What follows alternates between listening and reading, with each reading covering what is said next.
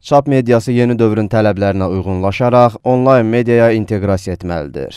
Real TV-yə açıqlama verən Medianın İnkişafı Agentliyinin icraçı direktoru Əhməd İsmayılovun fikrincə, bütün dünyada olduğu kimi Azərbaycanda da elektron qəzetlərin buraxılışına başlanılması çap mediasının gələcəyində böyük rol oynayacaq. Yaradılacaq xüsusi portaldan elektron qəzetlərin satışı da mümkün olacaq. Amma buna qərarı qəzet rəhbərlərinin özü verəcək. Çünki qəzet öz onlayn formatını pulsuz portalda yerləşdirə və qəzet səhifələrində olan reklamlardan gəlir götürə bilər və yaxud da müəyyən olunmuş qiymət əsasında elektron qəzeti portalda sata bilər ki, bu da çap mediasının gəlir əldə etməsinə şərait yaradacaq. Qəzet həm kağız formatda, həm də elektron formatda istehsal oluna bilər.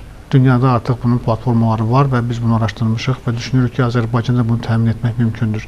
Yəni bir qəzet artıq ə, çap mediası olaraq ə, artıq deyirsə ki, ə, bütün informasiyanı indiki zamanımızın insanı mobil qurğulardan alır və çap ə, mediasının istehsalı olan kağız məhsulda olan qəzetlərin və ya da jurnalları almaq üçün kioslara üst tutmur.